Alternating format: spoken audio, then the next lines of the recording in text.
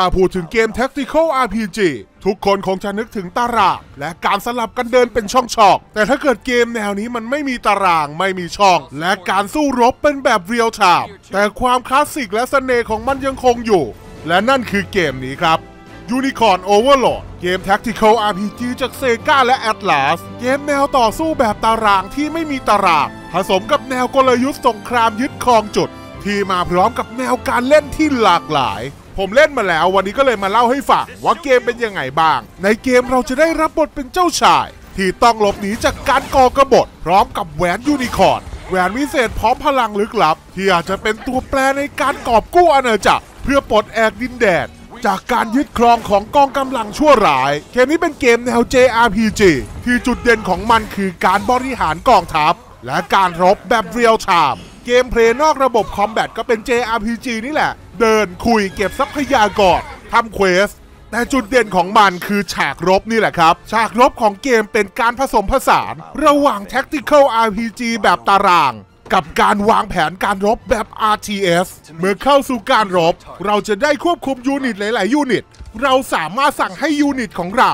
เคลื่อนที่ไปไหนมาไหนบนแผนที่ได้อย่างอิสระ ในแบบเรียลไทม์และถ้าเกิดกองกำลังของเรา เข้าปะทะกับกองกำลังของศัตรู เกมก็จะตัดเข้าฉากต่อสู้ เป็น cutscene สุดเท่ประมาณนี้ Here.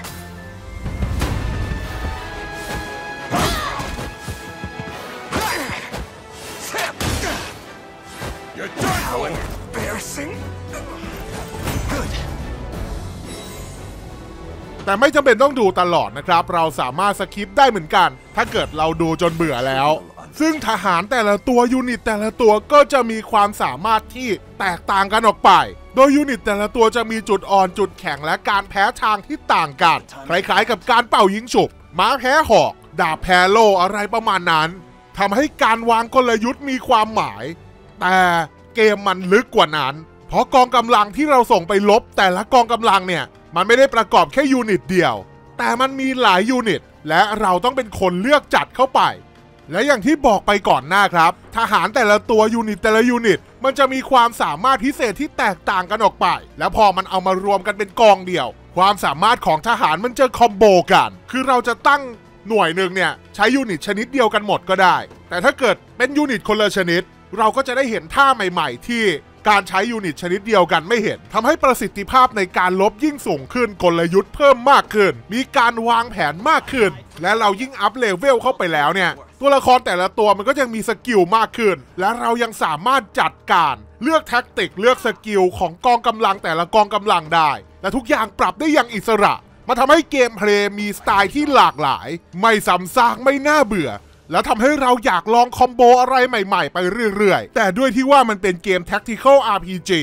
เพราะงั้นความเก่งกาจของ unit มันไม่ใช่ปัจจัยเดียวในการชนะ เราต้องวางแผนให้ดี ยึดเมืองยึดจุดยุทธศาสตร์ และทำเป้าหมายให้เสร็จในเวลาที่กำหนด เป็นอะไรที่ท้าทายมากๆครับและที่เท่ก็คือ unit ต่างๆ ที่เราได้มาเนี่ย นอกจากการปรับแต่ง skill อุปกรณ์สวมใส่ เราแต่งตัวมันได้ แต่งหน้าทำผมปรับสี ให้แต่ละตัวมีเอกลักษณ์เฉพาะตัวที่ไม่เหมือนกับตัวอื่น โดยเราจะได้ unit ใหม่ๆ ผ่านการดำเนินเนื้อเรื่อง และทำ quest เกมมันเป็นเกม RPG ครับมันเป็น JRPG ที่เปิดโอกาสให้เราสำรวจโลก แต่ว่ามันจะไม่ได้ละเอียดถึงขนาดเข้าไปตามบ้านตามช่อง ทุกอย่างเนี่ยดำเนินเรื่องบน map พูดคุยซื้อของรับ quest ส่ง quest แต่ถ้าเกิดเป็นเนื้อเรื่องตรงที่เกมอยากจะเล่าจริง ๆ เกมจะตัดไปเล่าเรื่องสไตล์ visual novelซึ่งมันเป็นการผสมผสานกันได้ดี ระหว่างเกม Tactical JRPG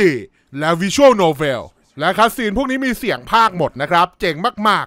พูดเรื่อง combat แล้วก็ gameplay หลักไปแล้ว จริง ๆ เกมมี gameplay อีกส่วนครับ คือส่วนของ Open World ที่เราสามารถเดินสำรวจได้ ระหว่างดำเนินเนื้อเรื่องเนี่ย เราจะต้องเดินทางไปยังเมืองต่างๆ และการที่เราจะปลดล็อก unit เมือง หรือ item ต่างๆ เนี่ย เราต้องต่อสู้กับกองกำลังของเมืองนั้นๆ และถ้าชนะ เราจะปลดล็อกอะไรต่างๆ ใน map โซนนั้น ไม่ว่าจะเป็นการเข้าถึงเมือง side quest ตัวละครพิเศษ ตัวละครชนิดใหม่ และจุดเก็บทรัพยากรใหม่ๆ และยิ่งแผนที่กว้างขึ้นเนี่ยเกมมีอะไรให้เราทำเยอะขึ้น เราสามารถเก็บทรัพยากรไปอัปเกรดเมือง เพื่อที่เราจะได้จ้างทหารรับจ้างที่มีความเก่งกาจมากขึ้น ซื้อ item ที่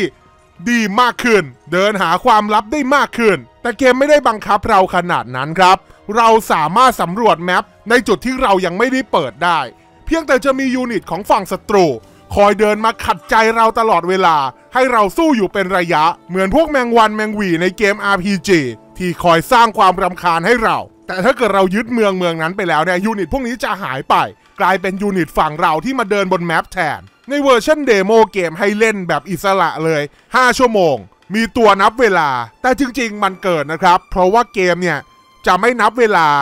ช่วงที่มันเป็น cutscene หรือตัวละครคุยกันทำให้ได้เล่นนานมากเกือบเกือบ10ชั่วโมงเลย แล้วเป็น 10 ชั่วโมงที่เพลินมากครับ สนุกมากๆ เกมมีระดับความยากง่ายตามสไตล์เกม RPG ก็คือมีโหมดเนื้อเรื่องที่ไม่ต้องโฟกัสกับ tactic อะไรมาก หรือโหมด tactic ที่ต้องใช้สมองนิดหนึ่งหรือโหมดยากสุด ที่ทำอะไรต้องคิดทุกอย่าง แล้วยิ่งต่อสู้ไปเนี่ยความซับซ้อนของการรบมันจะเยอะมากขึ้น ในช่วงแรกของเกมเราสู้กับเมืองเมืองหนึ่งเมืองธรรมดาที่ไม่มีป้อมปราการไม่มีอะไร unit spawn ออกมาจากเมือง เราแค่สร้างกองทัพ และเลือก unit โจมตีให้ถูกประเภท แต่ยิ่งเล่นไปหลังๆเนี่ย unit ของศัตรูจะซับซ้อนมากขึ้นแทนที่จะซับซ้อนมากขึ้น มีหอคอยที่ยูนิตยิงไกลฝั่งศัตรูจะเข้าไปอยู่ และคอยส่องเราจากระยะไกล มีสิ่งกีดขวางที่ทำให้เราเดินยาก เรียกว่าต้องใช้ ท็กติกมากขึ้น เพราะงั้นผมเลยคิดว่าคนที่เป็นคอ RPG เป็นคอเกม Tactical RPG น่าจะชอบเกมนี้ครับแล้วเกมเกมนี้ไม่ได้มีแค่โหมดเนื้อเรื่องอย่างเดียวนะ มันมีโหมด PVP ที่เราสามารถต่อสู้กับผู้เล่นคนอื่นได้ ตอนที่ผมอัพคลิปเนี่ยเกมน่าจะออกแล้วครับ เกมวางจำหน่ายวันที่ 8 เดือนมีนาคม บน PlayStation 4 PlayStation 5 Nintendo Switch และ Xbox Series X และ S เพราะงั้นถ้าเกิดใครอยากลองเล่นก็ไปโหลด demo มาเล่นได้เลยครับ เล่นฟรี 5 ชั่วโมง และถ้าเกิดชอบหลังจาก 5 ชั่วโมงไปแล้วเนี่ย สามารถเอา save เวอร์ชัน demo ไปเล่นต่อในเกมตัวเต็มได้ ใครสนใจลองดูใน Store นะครับ หรือว่ากดลิงก์ที่ข้างล่างก็ได้สำหรับวันนี้เนี่ยผมหมีเกมเมอร์ขอตัวไปก่อน ถ้าชอบอย่าลืมฝากกด subscribe ถ้ากดอยู่แล้วอย่าลืมเช็คว่ากดกระดิ่งหรือยังถ้ายังฝากกดด้วยเพื่อแจ้งเตือนวิดีโอใหม่ๆ วันนี้ก็ไปแล้ว สวัสดีครับ